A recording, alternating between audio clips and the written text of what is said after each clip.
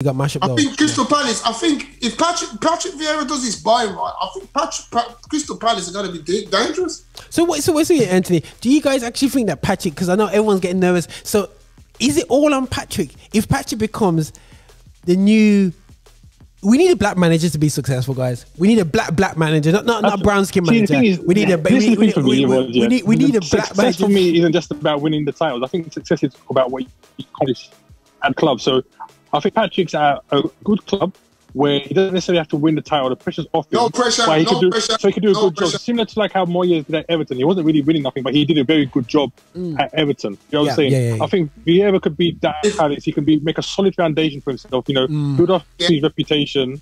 Yeah. Um, without the pressure of having to win titles Yeah. and all that kind of stuff. Hundred percent with your Marcus. I think Patrick Vieira. If Patrick Vieira can get Crystal Palace in the top ten, hmm That's success. That's success for Crystal Palace, bro. and we need that, guys. We need we need. And, and if you can get a good cup run, if you can get a little cup run, Carabao Mm. Cup, FA Cup, and win one of those, bro, it'll be a god. in Crystal Yeah. South, South London, it'll be a god. push a little bit further, the get into the top seven if you can. Man, man that's that's the Europa.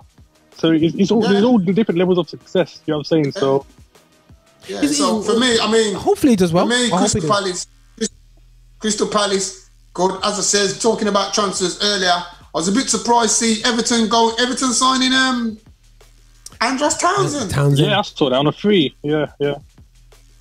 okay, Raf, I don't, Raf, I don't, I Raf. don't, see, I don't see why they need him.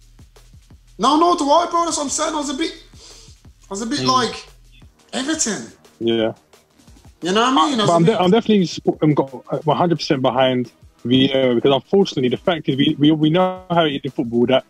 As a black manager, yeah, right, he has to do well. He, he automatically is seen as a He's representative for all bro, black managers. he's carrying, he's carrying every black man on his shoulder Yeah. right Yeah, now. yeah, yeah, for real. Oh, if, For real. if, if Vieira, if Vieira has a great, if listen, if Vieira keeps Palace in the Premiership, and if he can just say he gets a, if Palace finish tenth, I think the highest they've finished in the Premiership is what? Is it tenth, fourteenth, something I don't know. Yeah, yeah, yeah. But um, I think if Patrick Vieira can do that and do well, he it can potentially open the door for a couple other black managers. to Yeah, no, get no, hundred squeezed percent, No, no, Yeah. no. I believe. That- I that- believe. Like someone like Sol Campbell because the connection, the Arsenal connection, that mm. Patrick Vieira. Yeah, I yeah, think yeah, yeah, yeah, it can work yeah, like that. yeah. And it'd be interesting to see who Vieira brings in as his coaching staff.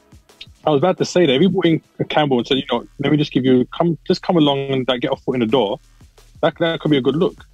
Yeah.